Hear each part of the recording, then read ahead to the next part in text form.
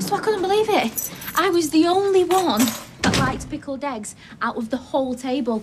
And they're acting like I was the weirdo. Who's they? Oh, just some guys in the crew. We had lunch together. Was Isla there? I'm not sure. I think so. Not sure. Really?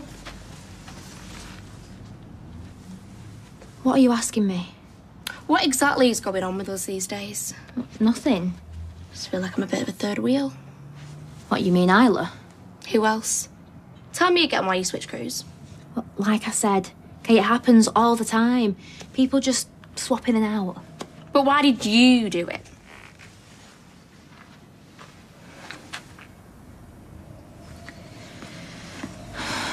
Promise me that you won't get mad.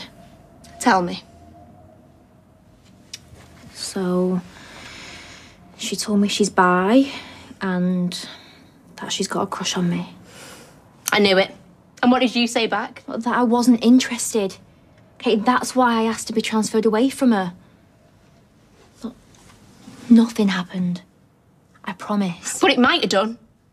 What? You've got feelings for her too. You must have. Why else would you have transferred? And why are you so afraid to be alone with her? I was trying to do the good thing. You just don't trust yourself being around her, do you?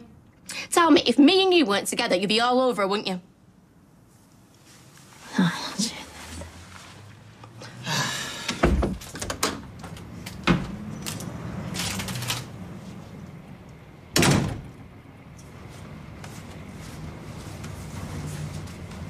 Hey.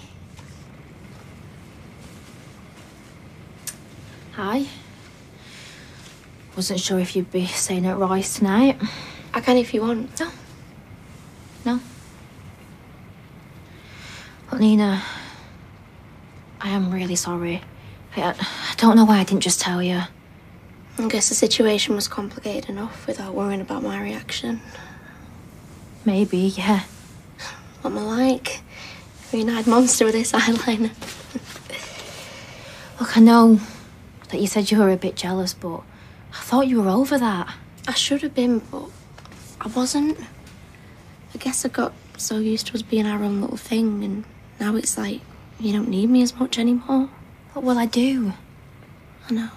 Look, and you're right. You know, I have been distracted by studying and my new mates. I shouldn't have left you out. And I should have trusted you.